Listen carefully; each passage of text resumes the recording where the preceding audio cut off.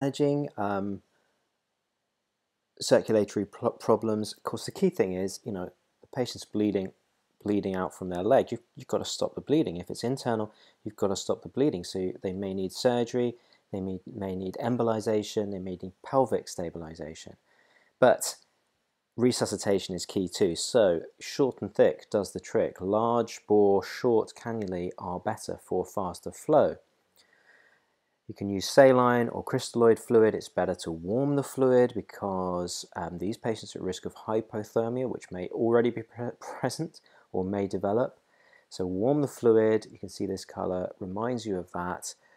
Um, if they fail to respond, one can consider um, using blood products. These should not be warmed in a microwave. Um, blood gas can be helpful because lactate levels, for example, can give an indication of the presence and degree of shock. When you put the cannula, take the blood tests, send for blood type cross match baseline bloods and pregnancy test, worth remembering. Um, and these are the key things.